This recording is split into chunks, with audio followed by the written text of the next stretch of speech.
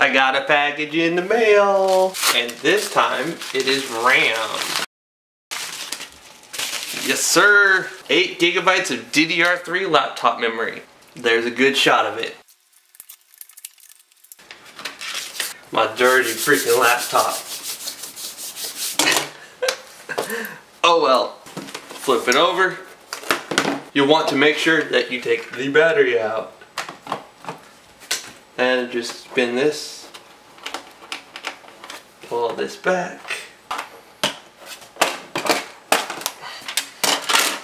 Alright. I do have a video. This red drive right here is a 480 gigabyte SATA 3 Corsair Force GT SSD. This thing is smoking fast. These just flip out and that comes out. As you'll see right here, there are a total of four slots.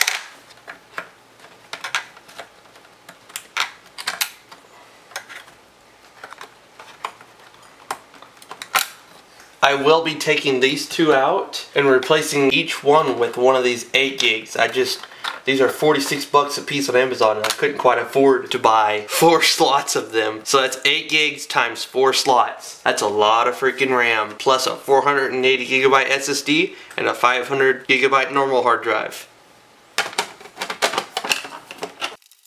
Now I'm going to go ahead and put the battery back in it. Flip it over. Alright, we're going to press power, and while it's starting up, we're going to go ahead and keep pressing escape. I know my screen's dirty, I can't find my spray bottle to clean it. Alright, now it's going to enter setup. Total memory, 16 gigabytes. Check that out. That's freaking insane. 16 gigabytes. Gonna go ahead and save and exit, and let it start up. Now, I have Ubuntu and Windows 7 installed, so I gotta press enter when it posts. Alright. You can go ahead and start your timer, or whatever.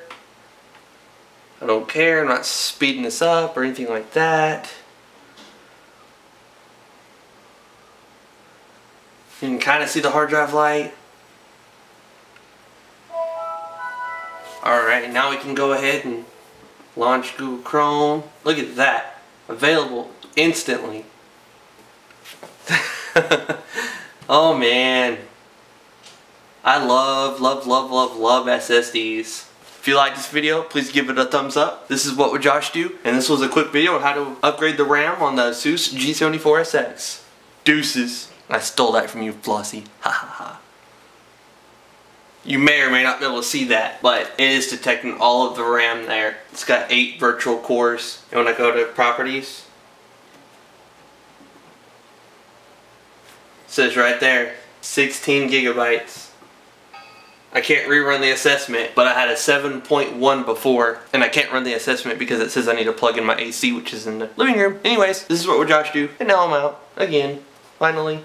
Actually, I'm not done. I had a 2 gig stick and I went ahead and put it in there to see if it would actually recognize more than 16 gigs. And it sure does. I don't have much more RAM that I can throw in there to see how high I can get those numbers. But like I said, if I end up buying four of those 8 gig sticks, I can max it out to 32. And if it's recognizing 18, it should recognize a little bit more. Alright, I promise. This time I'm out. Deuces.